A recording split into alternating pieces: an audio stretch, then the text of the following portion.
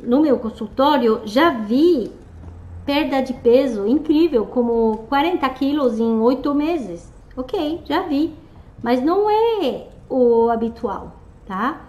É, e também até perguntei para essa pessoa, falei, mas qual é seu segredo? Porque eu não vejo muito isso. E ela falou para mim, mas meu segredo é você, doutora Sofia.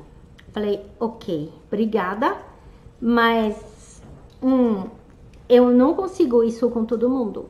Então, uma das coisas que foi, acho muito importante no caso dela, é que ela não se culpou mais. Quer dizer, ela fez uma, umas pazes muito grandes com a comida, mas também ela tinha uma saúde fantástica. Ela não tinha nem colesterol alto, ela tinha um excesso de peso de 30 anos de dieta, mas ela tinha uma saúde fantástica. Então isso também ajuda. Às vezes a pessoa de tanto fazer dieta, ela tem alterações metabólicas que pode ser resistência à insulina, glicemia alterada, colesterol alto. Então, o corpo vai mais devagar quando tem problema de saúde. Por isso, não existe uma solução só, cada corpo é diferente.